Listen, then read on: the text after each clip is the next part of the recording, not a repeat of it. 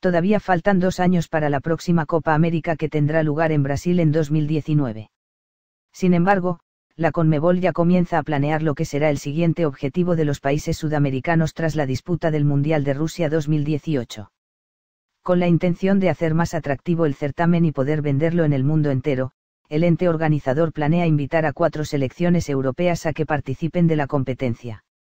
Según lo informado por el medio brasileño Globo Esporte, las elegidas serían pesos pesados, Italia, España, Portugal, último campeón europeo, y Francia, último subcampeón.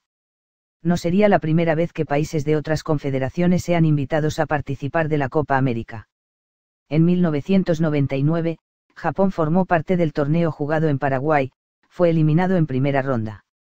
Las cuatro naciones del viejo continente se sumarían a los diez países sudamericanos, Argentina, Brasil, Chile, Uruguay, Paraguay, Bolivia, Ecuador, Colombia, Perú y Venezuela, y a Estados Unidos y México, por lo que habría un total de 16 selecciones luchando por el título.